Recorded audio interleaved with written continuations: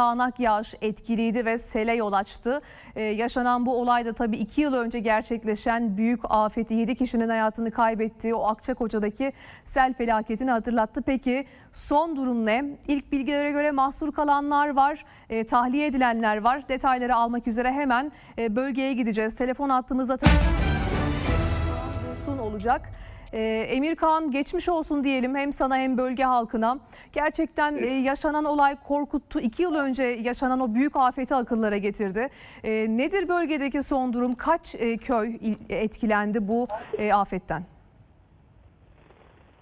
Evet, akşam saatlerinde Düzce'nin Çokça ilçesinde Esma Hanım köyü ve yakınlarında şiddetli yağış etkili oldu. Bu da dere yataklarının taşmasına ve bazı yerlerde su birikintilerinin olmasına sebep oldu. Özellikle dere yataklarına yakın yerlerdeki evler tedbir amaçlı boşaltıldı ki e, keza meteorolojinin uyarılarıyla, uyarılarıyla birlikte e, valilik tarafından bölgedeki vatandaşlara gün boyu uyarılar yapılıyordu. Bölgede mahsur kalan vatandaşlarımız vardı ancak arama kurtarma ekiplerinin çalışmasıyla mahsur kalan vatandaşlar kurtarılarak güvenli bölgeye alındılar. AFAD bölgede çalışmalarını sürdürüyor. Aldığımız bilgiler şu an can kaybı olmadığı yönünde. Ekipler yine bölgede arama faaliyetlerine devam ediyorlar. Bölgede AFAD 112 acil, itfaiye, UMKE ve arama kurtarma ekipleri çalışmalarını sürdürüyorlar.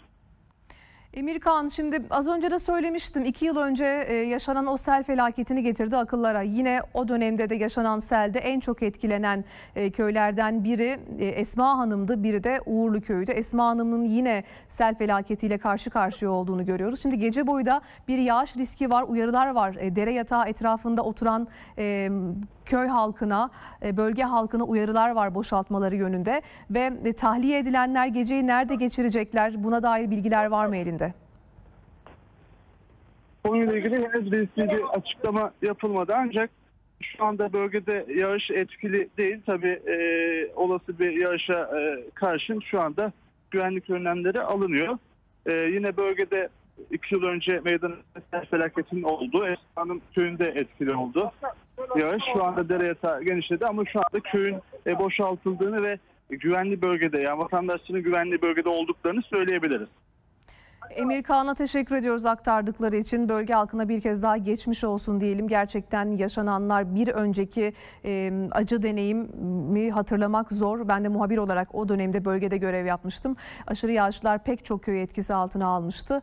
E, dere yatağı taşmıştı. E, yağan yağmur nedeniyle, toprak kayması nedeniyle dere hatta farklı bir yöne kaymıştı ve pek çok ev sular altındaydı. 7 e, vatandaşımız da hayatını kaybetmişti. Günlerce devam etmişti arama kurtarma çalışmaları. olanları